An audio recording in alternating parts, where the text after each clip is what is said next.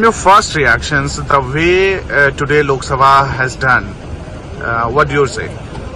No, there, uh, there is an MP uh, who has actually given the passes for these people to come in. No action has been taken against that MP. Uh, whereas we saw what happened in Mahua's case, uh, where without even the inquiry being complete, she has been disqualified.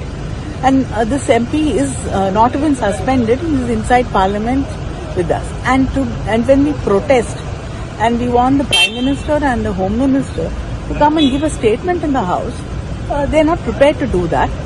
And uh, uh, when we protest, they are suspending uh, all the opposition MPs. First uh, suspended five, then they suspended uh, nine uh, people. So uh, how is this democracy? And they were saying you, uh, the M- MPs were disregarding. Obviously, when you we are asking for a discussion, when uh, we are asking for the uh, government to respond, and they don't respond, we have to disrupt the house. What, what choice do we have? Will your demand is continue? Yes, definitely. Thank you. Thank you.